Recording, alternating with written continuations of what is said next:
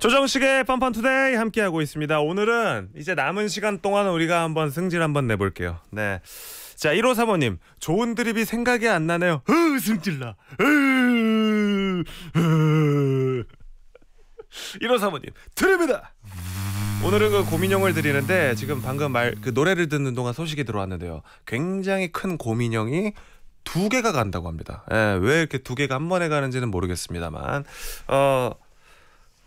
그 지역의 당근마켓에 고민형이 올라온다 아, 하면은 저희 굉장히 좀 어, 욱할 수 있어요. 화낼 수 있습니다. 승질 날 수 있어요. 네. 자, 이은선 씨. 저는 항상 욱해요. 지금도 999 당첨 안 돼서 욱했어요. 아우, 펀펀 싱. 어, 싱이라고 귀엽게 보내주신 거예요. 욕하신 거 아니에요.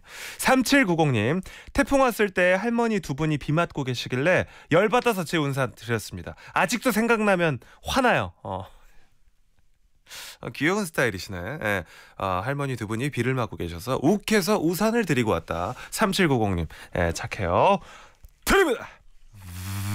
아, 이 문자 와닿는데요. 저도 이럴 때 많거든요. 2147님. 소변 보러 갔다가 욱해서 응가까지 했습니다. 드립니다. 네.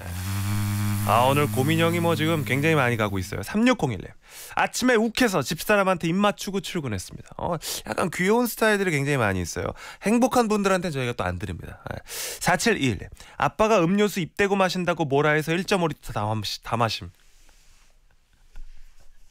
야 이건 진짜일 확률이 굉장히 높고 굉장히 그 못됐을 확률이 높아요.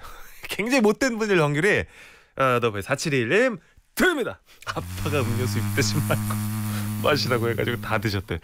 야, 다 마실 건데? 아니 아빠, 나 이거 다 마실 거요. 음. 배부른 데만 먹고. 한재상 씨, 편의점 가서 삼각김밥 코너 가면 참치 마요가 이름부터 건방져서 바로 삽니다. 어떻게 참아 이걸 참지 마요 이러는데, 어 어떻게 어떻게 이분 정말 노잼인 분인가 봐. 슈베. 권영민 씨, 어, 다혈질 삼행시. 다. 다음 사람은 혈. 혈액형 O형을 만날래. 질. 질질 끌지 않고 고백. 어떻게 정말 노잼인 분인가 봐. 공사사사님이 다혈질 삼행시 다시 도전합니다. 다. 다람쥐. 어. 시작 좋아요. 혈. 혓바닥. 뭐예요 혈인데 혓바닥. 오케이 가봅니다. 다람쥐 혓바닥. 질. 즐겨 공사사사님 드립니다.